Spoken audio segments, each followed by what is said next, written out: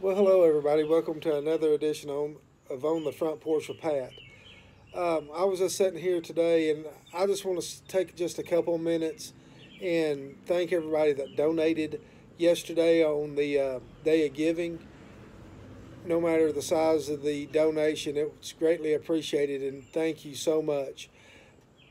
Just rest assured that we're going to take those funds and we're going to use them to make the lives of individuals better, to, to help families reunite, and, and to just make our community a stronger, safer community.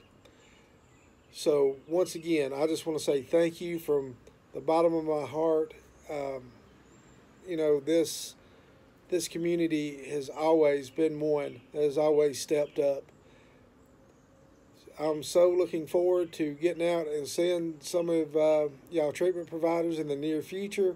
Maybe maybe we can get back to some semblance of uh, what normal life, and instead of uh, me being here on the front porch, I will be sitting across from your desk asking you questions about the uh, programs that you run, and get to see firsthand the difference that you're making in the lives of people in our state. So until the next on the front porch of Pat, everybody stay safe. Let's keep practicing uh, social distancing and um, talk to you later.